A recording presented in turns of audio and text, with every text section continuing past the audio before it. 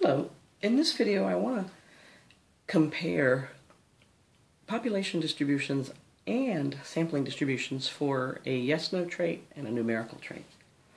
So previously in another video I had compared sampling distributions and essentially that was really because we want to know how samples behave and in a sampling distribution here for example you have a yes-no trait you're going to use a percent or proportion to measure that yes-no trait. And so you take samples, and those samples are called, are called sample proportions. And so they pile up around the mean p in a normal distribution and spread out by this standard deviation. Square root of p times 1 minus p over n, and again 1 minus p can be q. And then for a numerical trait, uh, we have sample means, which could either be x bar or y bar, our calculator uses X bar, some other books use X bar, our book uses Y bar. But it really doesn't matter whether it was an X or a Y value. Essentially, you're averaging those X values and it would be an X bar, or you're averaging the Y values and it becomes a Y bar. So we'll go along with your book. So the sample means, the Y bars, will pile up around mu in a normal distribution and spread out by this standard deviation formula, sigma over square root of n, and all this holds as long as conditions are met. And by conditions, we talked briefly, but you have independence, which is really the same for both of them, 10% rule, which is exactly the same for both of them, randomization, exactly the same for both of them. The only place where they differ is in showing that the sample size is large enough. So for a yes-no trait, put that up here, versus a numerical trait. For a yes-no trait, you have to show 10 yeses and 10 nos occurring in your sample for that sample size. And for a numerical trait, you either have to have a sample size of 30 or more. That's what our book states. Some books states some books state 25. So you've got to be in that ballpark. Or you have to know the population is normally distributed. This is really the only condition in which they differ. That is it. So this is called success failure, right, or central limit, and you know.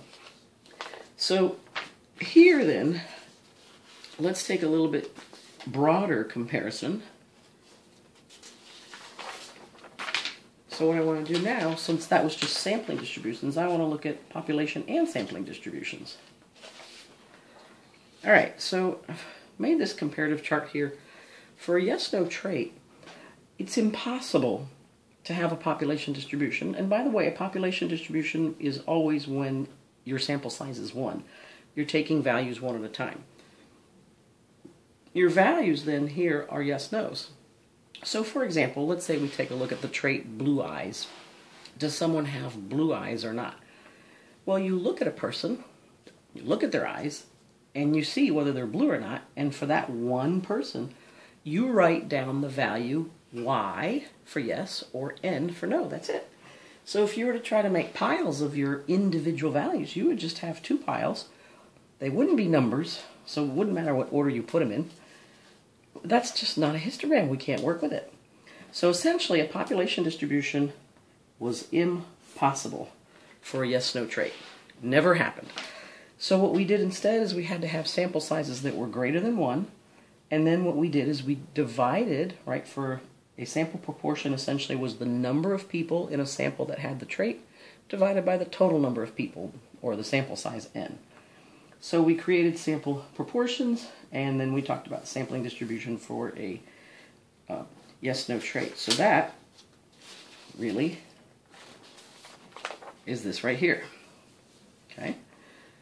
Now, for a numerical trait, it is possible to have both a population distribution and a sampling distribution. So if the sample size is 1, you can take the values one at a time and basically just immediately put those values into piles. The center of that distribution will be mu, and the standard deviation will be sigma. And it, it just depends on whether you call the values x's or y's. You would say standard deviation of y or standard deviation x. And then for a sampling distribution, it means that your sample size is anything greater than 1. It could be 2 or 500 or 5 billion. But in that case, again, you uh, as long as conditions are met, your mean is mu, and then your standard deviation, if the original values were called y's, then the standard deviation of the y bars is sigma over square root of n. or if your original values were called x's, the standard deviation of the x bars is still sigma over squared n. It's the same formula. But again, for these, for this to hold, meaning that we have, we know that these formulas hold and that you have a normal distribution, you have to have conditions met. Now, when you're calculating, oh, actually, let me go ahead and go into the interpretation, just so you kind of get an idea of this. So, for the yes-no trait, let's suppose we are talking about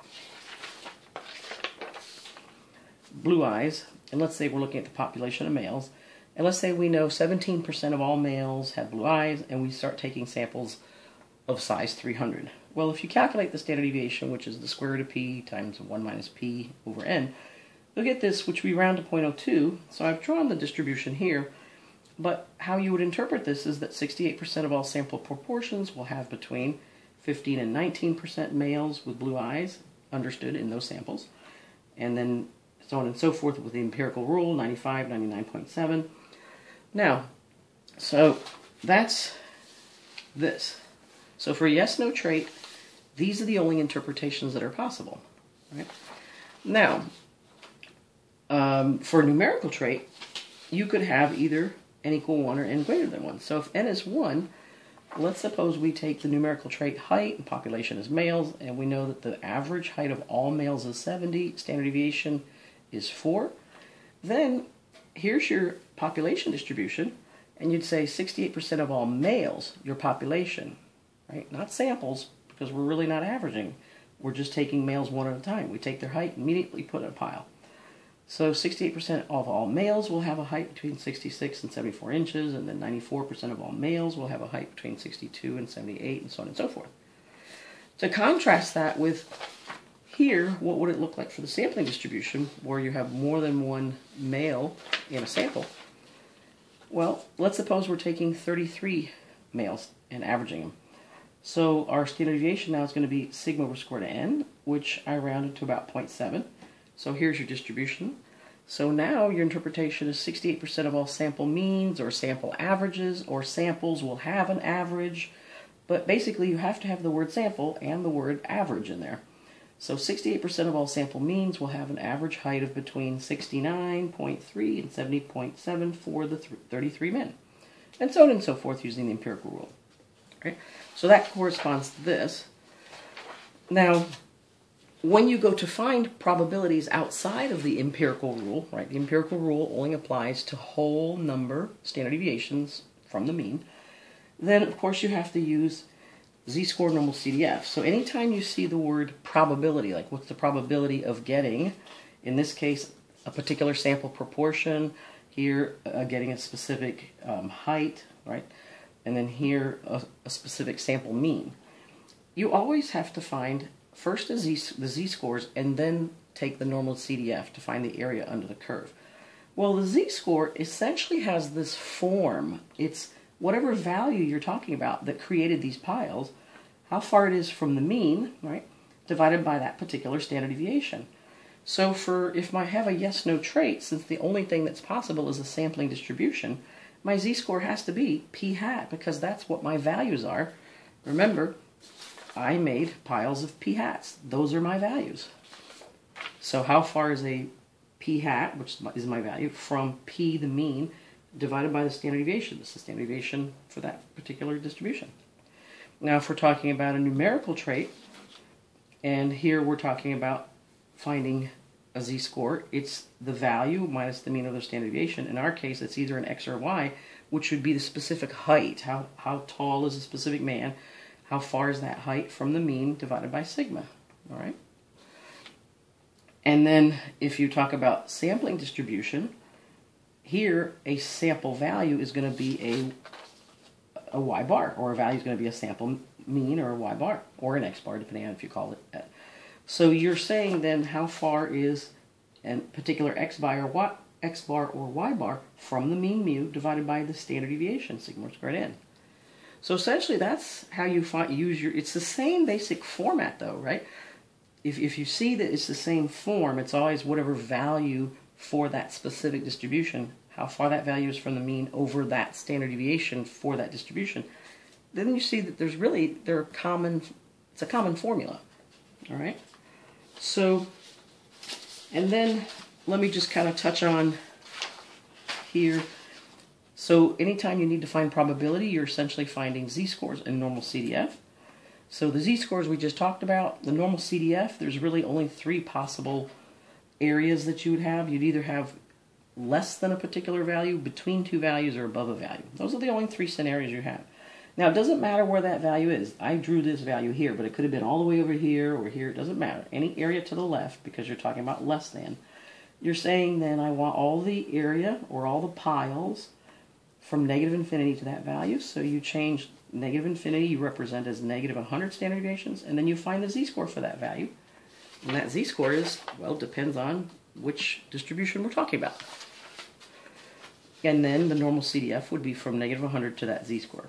If you're between two values, you find the z-score for the first value, the z-score for the second value, find the normal CDF from z1 to z2. And if you're above a certain value, it's uh, z-score to 100 standard deviations, so normal CDF from z to 100. Do not use the z-tables. It's so much easier to use your calculator and normal CDF. Okay, and so this is the general overview for what we did. And the only last comment I want to make is, although I draw all these distributions as if they're the same, here where I had the numerical trait, right, and this is these are males one at a time, you're not given a sample size. When you're not given a sample size, you can assume n equals 1. And that's the population distribution. So here I drew it this way, and I drew this one very much the similar way, but honestly, this is how they would really look. right? Because of the averaging effect, the y bars pile up much more closely uh, uh, in the mean, whereas the population distribution is much more spread out. All right? Thanks so much for listening.